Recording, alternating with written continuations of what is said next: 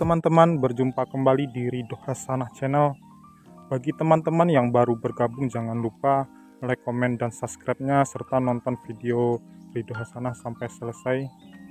Nah, teman-teman, di mana pun berada, pada kali ini kita sedang berada uh, di sebuah batang jeruk, teman-teman.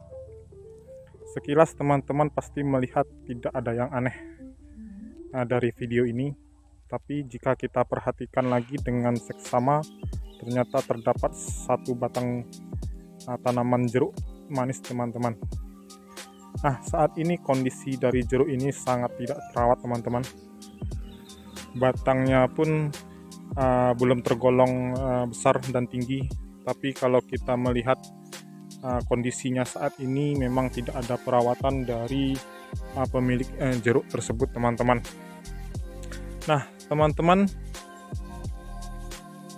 di mana pun berada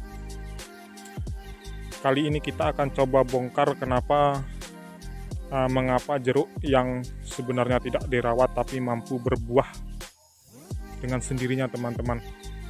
Meskipun tidak ada perawatan khusus uh, tapi jeruk tersebut uh, mampu menghasilkan buah walaupun tidak maksimal teman-teman Nah, pada kali ini kita juga akan coba uh, membersihkan batang jeruk tersebut, teman-teman. Karena kalau kita melihatnya, uh, kasihan. Kondisinya sangat memprihatinkan, teman-teman.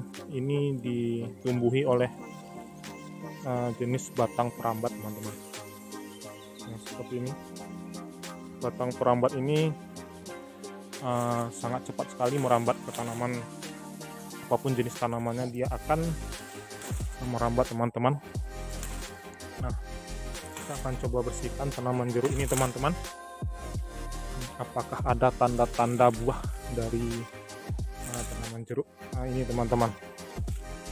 Kalau kita melihat dari struktur batangnya uh, kondisi atau umur dari tanaman jeruk ini sudah berumur lebih kurang hampir satu tahun teman-teman kita lihat kondisi seperti ini. Akan coba bersihkan guma-gumanya teman-teman. Nanti kita akan melihat uh, hasil dan jeruk ini teman-teman apakah terdapat buah atau tidak.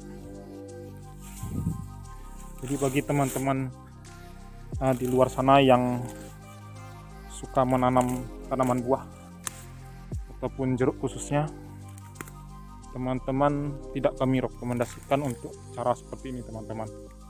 Karena memang setiap tanaman ataupun tumbuhan itu membutuhkan uh, perawatan rutin teman-teman.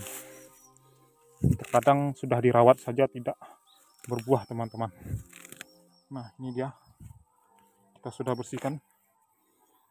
Sekilas saja teman-teman kita bisa melihat ini batang jeruk. Tidak ada tanda-tanda kehidupan tidak ada tanda-tanda berbuah teman-teman. Masih batangnya pun kondisinya daunnya uh, tidak terawat ataupun kurang semprot teman-teman. Tapi kita bisa melihat di salah satu uh, batangnya teman-teman itu terdapat putih dari jeruk manis tersebut teman-teman. Ternyata jeruk ini memiliki buah teman-teman.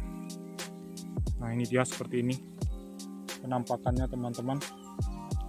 Saya, saya pun juga terheran-heran dengan jeruk ini dengan kondisinya yang sangat tidak terawat tapi uh, masih mampu atau mau berbuah dia teman-teman. Nah pada dasarnya untuk tanaman uh, buah sendiri walaupun tidak dirawat secara maksimal dia tetap uh, mampu menghasilkan buah teman-teman. Cuman bedanya uh, saat dirawat maksimal dia akan memberikan hasil yang maksimal juga. Namun saat dibiarkan ataupun tidak dirawat maka dia akan menghasilkan uh, buah semaunya saja teman-teman.